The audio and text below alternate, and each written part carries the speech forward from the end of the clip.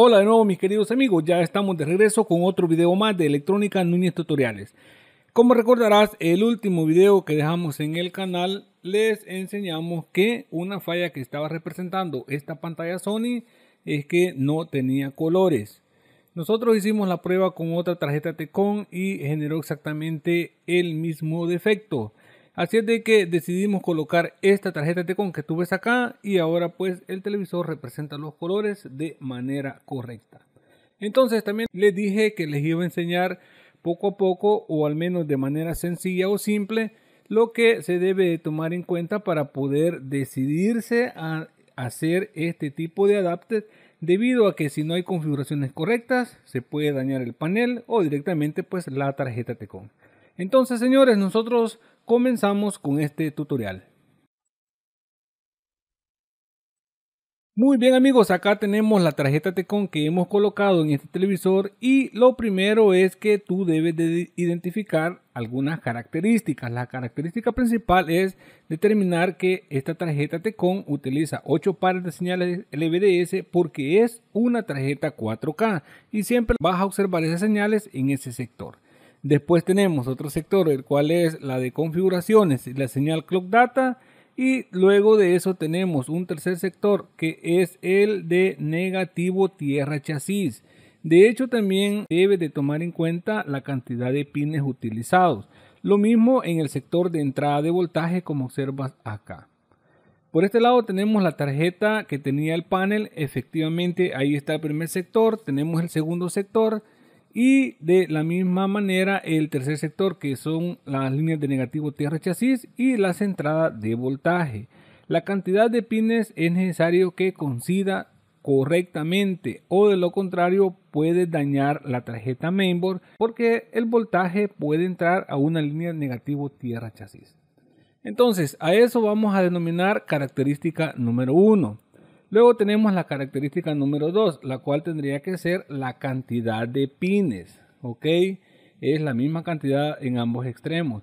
Otro punto importante es verificar sobre este mismo tema de la característica número 2, tendría que ser la distancia que hay entre un conector y el otro. Recuerda que las tarjetas Tecon, siempre con dos conectores, vienen en diferentes eh, distancias cada uno de los conectores. No vamos a adaptar un conector que esté bien separado del otro y a doblar los flex. No sería correcto. Entonces tiene que tener también esa característica fundamental, la cual la denominaremos característica número 2. ¿Ok? Entonces, después de esto viene la parte más vital y más importante que se debe tomar en cuenta a la hora de querer adaptar una tarjeta Tecon. Entonces, si hablamos de la característica número 3, que es la más fundamental, esa característica tiene que ver con la entrada de voltajes y señales a las tarjetas previas al panel. ¿Ok? Donde conectan los flex.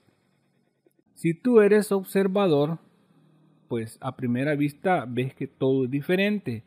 Pero si ubicamos los sectores, tenemos primer sector acá que corresponden a 8 líneas. Esas 8 líneas son las líneas clock. Y si verificas acá en esta tarjeta, efectivamente aquí también están las 8 líneas.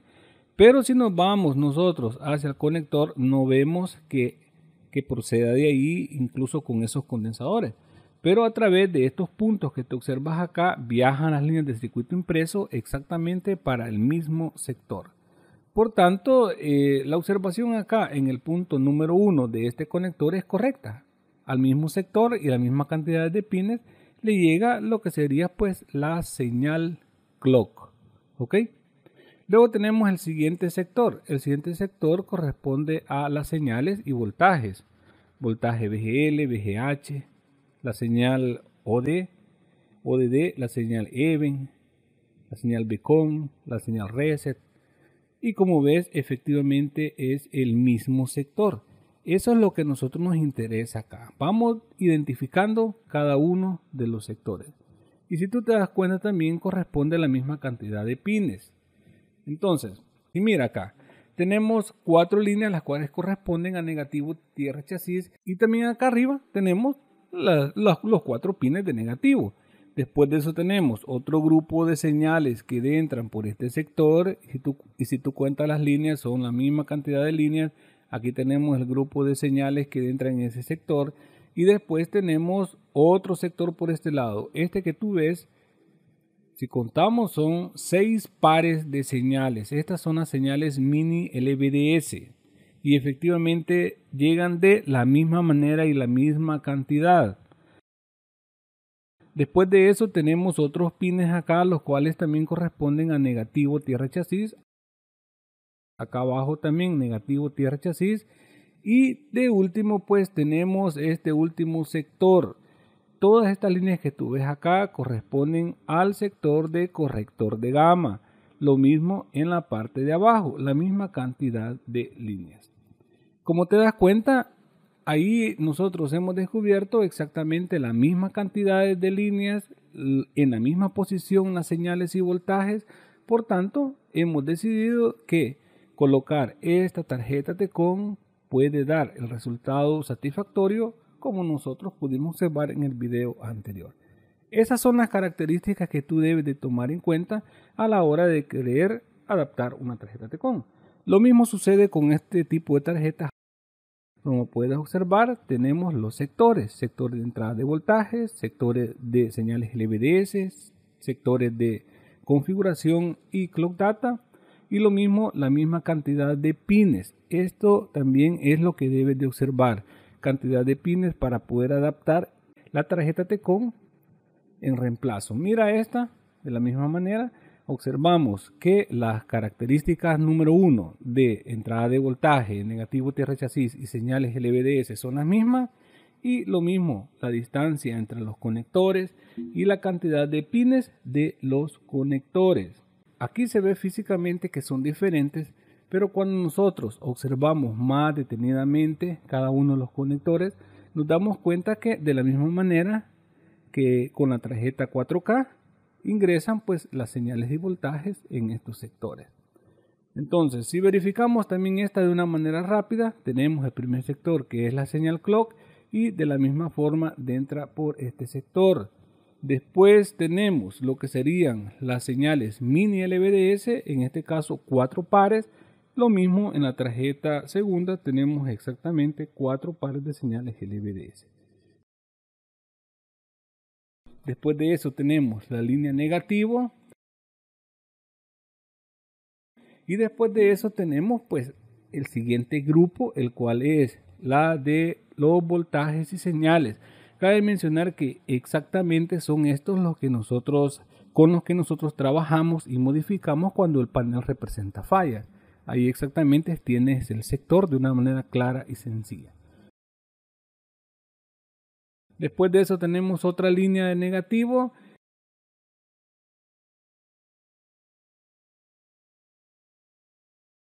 Después de esto tenemos el siguiente grupo.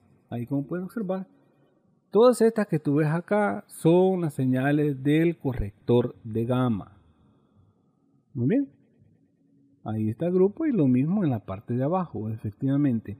Aunque no veas señalizadas directamente las líneas como lo están en la parte de arriba, efectivamente llegan de la misma forma en la parte de abajo mediante esos puntos que tú ves, las cuales son la conducción de las pistas de circuito impreso. ¿Ok? Entonces, ahora los otros sectores en esta tarjeta también tienen que ver con voltajes, como el voltaje VGL y VGH que estás observando ahí. En la tarjeta de abajo no vemos que esté serigrafiado, pero efectivamente también conectan a, los mismos pines, a la misma cantidad de pines, esos voltajes VGL y VGH. Lo mismo el resto de líneas que tú ves ahí, las cuales también son de señales que emite el integrado escalador para la tarjeta previa al panel y luego se distribuye hacia el panel correspondiente. Entonces, de esta forma se pueden identificar todos estos sectores. No necesitas complicarte mucho para poder analizar esto. Algo importante que debes de saber es que debe de coincidir cada uno de los pines. Las cantidades de pines deben de ser exactos. Mira esta otra tecón. Aquí tenemos todos estos grupos. Están claramente identificados, incluso la cantidad de, de líneas. Y mira acá con esta otra Tecon exactamente igual, tiene las mismas características. En este caso pues nosotros podemos conectar esta Tecon que sabemos que no vamos a dañar el panel y tampoco pues vamos a dañar la Tecon correspondiente. Toma en cuenta todos estos puntos y si tú quieres pues realizar este tipo de pruebas vale la pena que lo hagas siempre y cuando tengas las precauciones de las cuales te he hablado y así pues tú también vas a ir reforzando poco a poco lo que sería el conocimiento para poder trabajarle a este tipo de televisores. No olvides las tres características fundamentales. Si las aplicas, sin duda tú también vas a poder realizar esto. Y no se olviden de la memoria EEPROM. En ella se guardan los datos de configuración del panel. Por lo tanto, si los datos no son correctos, entonces no va a generar imagen o te va a generar fallas de video. Así es de que ahí estamos señores, esta es la información de este video, espero les ayude y nos vemos hasta el siguiente tutorial.